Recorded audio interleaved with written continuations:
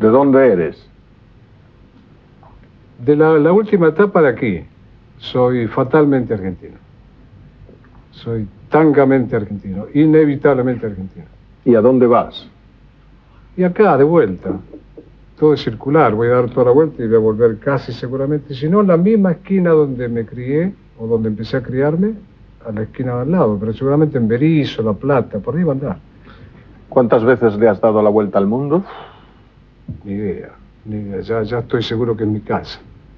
Ahora sí, ahora sí se confirmó que el planeta es un solo país.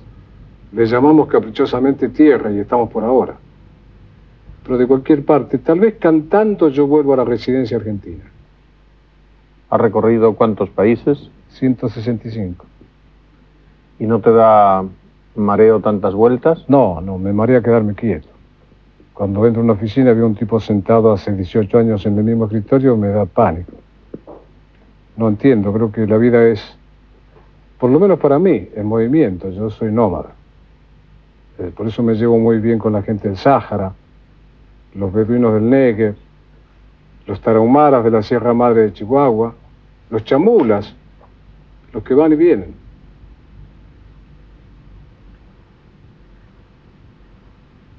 No soy colono, soy conquistador. Lo que pasa es que estoy a la conquista de mí mismo. Es lo que uno espera. Pero en un viaje, ¿qué buscas? A uno, te conoces en los demás. Yo me reconozco en Felipe. Felipe me hace ver que era, puedo ser menos tonto de lo que creo ser. Mm, ¿Pero tú estás buscando o estás perdido? Tal vez perdido, ahora a esta altura sí, a los 61. Eso, eso se lo dijo alguna vez mi madre a un periodista. Dice, hace tantos años que está dando vuelta que más que buscando creo que está perdido. es posible, porque ¿qué se puede buscar en un infinito? ¿A dónde se puede llegar primero o último en una eternidad? Solamente estar, estar presente y darse cuenta que todo sucede alrededor. Tal vez el único mandamiento sea darse cuenta. Si me doy cuenta, soy un hombre. Si no me doy cuenta, bueno, seré un dictador, qué sé yo, seré un ministro.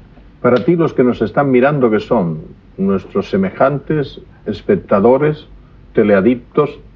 No, hermanos. Seguramente alguno está viendo el programa que me, me enseñó alguna cosa. Seguramente está viendo el programa alguien en Avellaneda o en Bogotá o en Madrid que me llevó en su taxi. Seguramente hay alguna ex novia mía mirándome, o una futura novia mía. Son mis hermanos, con los que jugamos a ser argentinos, a ser maridos, a ser famosos, a ser anónimos, a ser jugadores de fútbol, de béisbol, conducir programas de televisión, armar cigarrillos. ¿A ti en el amor qué te gusta, el método o la improvisación? No, la improvisación. ¿Quién sabe dónde está la mujer? Yo una vez me di vuelta y estaba acá. Y me casé en tres días. El, el amor no, no, no, no, no se busca, el amor. El amor te encuentra, porque es anterior a nosotros. Ah, Entonces no hacemos el amor, el amor nos hace, nos va modelando, nos va haciendo cada día mejores personas. Pero no me dirás que eres feliz contigo mismo. Sí, lo Sí. paso bien, yo estoy de novio conmigo. Tengo una buena amistad, me traje a tu programa, de aquí me llevo a comer, a la noche me llevo a ver fútbol, me deleito.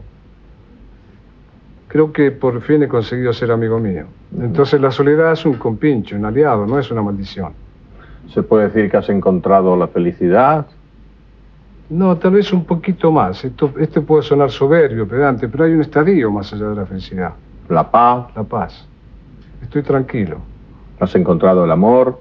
Sí, y el amor no es una persona. He encontrado lo que Nietzsche llamaba el amor perfecto, el amor al destino, el destino incluye todo. El destino me convoca hoy contigo, mañana con Laura, pasado mañana con Verónica Castro. ¿A ti te han llamado alguna vez el pastor Cabral? Sí, cómo no. También el hereje Cabral. Te han Y llamado... otras cosas mucho más duras. Eh, hijo de perra, para hacerlo más televisivo, farsante, mitómano, que es cierto, yo he hecho mitos enormes. Soy una especie de fabricante de mitos y me gustan, algunos los instalé. Me gustan, me mueven. Son paradigmas faros. También Pero es- sí, me han llamado el décimo tercer apóstol. Octavio Paz decía que yo era un ángel sin escrúpulos. Arriola dice que soy un Woody Allen cristiano, un Borges on the rocks. Mil cosas. Yo solo sé quién soy cuando estoy en mi cuarto. ¿Y qué le dice a los que te llaman farsante? Nada. Cada uno es lo que cree que... Yo creo que Borges es maravilloso y hay, hay gente que me lo reprocha. Nada, cada uno tiene derecho. Como yo elijo entre León Felipe y, y Isabel Allende Isabel Felipe, pero son elecciones. ¿Cuántos años hace que te pronosticaron que ibas a vivir tres meses? Finales del 85. Así que nos veremos en el 2015. Pero yo le pronostico a la gente también, ¿eh? No sé qué cámara es. Cuidado, como dicen en México, aguas. Nadie sabe cuándo aquel dice se acaba ahora. Entonces viví ahora. Amá ahora. Gozá ahora. Liberate ahora. Al demonio con lo que no te interesa ahora. Nadie la tiene firmada. ¿Cuál es la mía?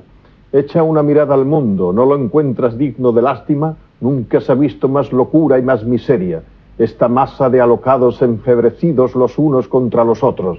Pero vendrá un día en que nos quedaremos con nuestra música y con nuestra meditación. Tú sigue con la tuya.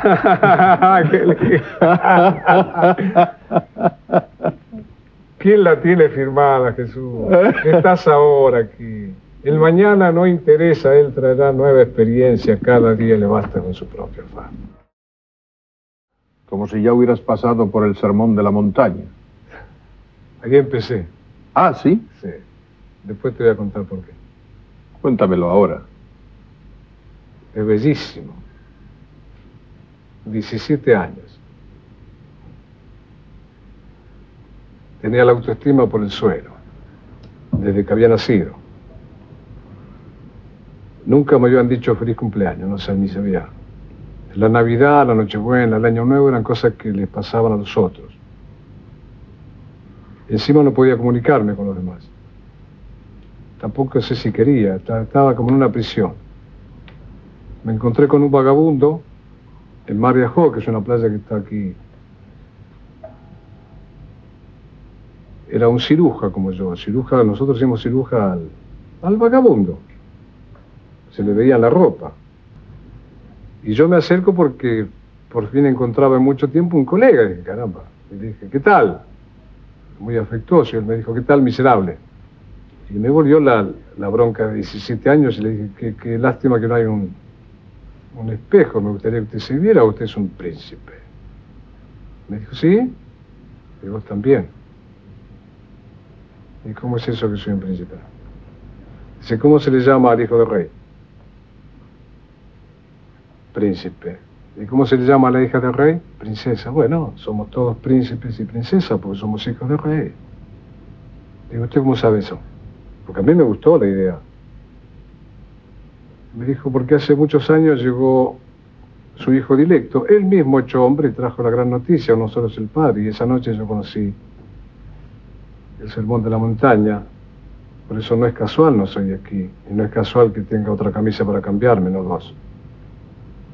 Empezó todo ahí.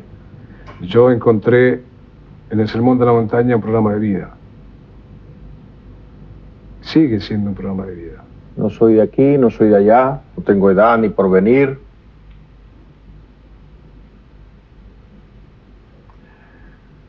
Y ser feliz Es mi color de identidad. es mi color de identidad. ¿Te sigues reconociendo en ese autorretrato? Sí, fíjate que yo, yo no sé si era así cuando lo escribí. Sin darme cuenta fue como un proyecto, un boceto, y ahora soy ese. A lo mejor habría que cambiar, viste, me, me gusta el sol, Alicia y las palomas, a lo mejor habría que decir, me gusta el sol, Lupita y las palomas, o Francesca. Mm, A, a- a lo mejor diría, en lugar del mar mojándome los pies, diría la nieve refrescándome el alma del lado de afuera. Pero yo ahora me reconozco en esa canción, es mi documento. esa canción es tu Quijote. Sí, y me abrió las puertas de, much- de muchas casas. Entré a la casa incluso de gente a la que yo no le gustaba. ¿La recordamos? Sí, claro, cómo no. No, no, no, no lo olvidaste. No. Es verdad. Y bueno, vamos a recordar algo que no olvidamos.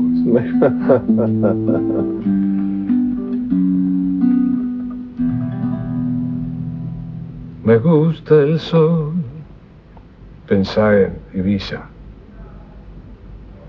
Alicia y las palomas San Marcos. El buen cigarro y la guitarra española, Paco. Saltar paredes y abrir las ventanas y cuando llora una mujer de alegría. Me gusta el vino tanto como las flores, el de la Rioja. Los viejos pastores de la Mancha. El pan casero y la voz de Dolores, o la sutrera, y el mar mojándome los pies. No soy de aquí, ni soy de allá, no tengo edad ni por venir y ser feliz es mi color de identidad.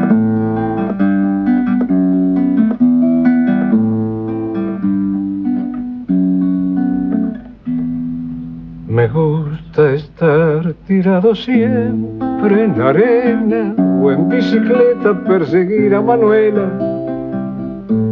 o todo el tiempo para ver las estrellas con la María en el trigal. Hermoso. Los trigales de Van Gogh. Mm.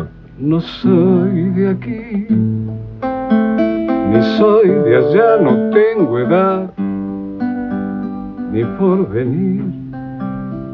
Y ser feliz es mi color de identidad. Después de tanto caminar, Jesús, aprendí que hay una sola religión, el amor. Hay un solo lenguaje, el del corazón. Hay una sola raza, la humanidad. Hay un solo Dios y está en todas partes.